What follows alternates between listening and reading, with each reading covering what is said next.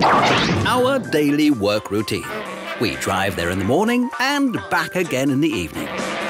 And in between times, you sit at your desk and gulp down some fast food during your lunch break. What's the result? You grow thick around the middle. Primetime Fitness has the solution for you. A gym just around the corner from your work. But how do you call people's attention to this? We use the unique medium that is second to none for comfort, the renowned bean bags from the Fatboy Company.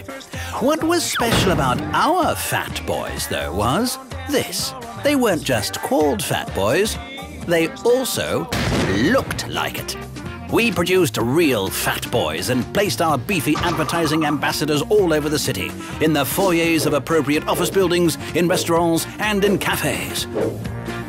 The promotion garnered a large amount of attention in the local media. In addition, it produced a 20% increase in new enrollments to the fitness studio, surely helping them to markedly trim down their waist size. The promotional slogan was also easy to find Don't get fat, boy.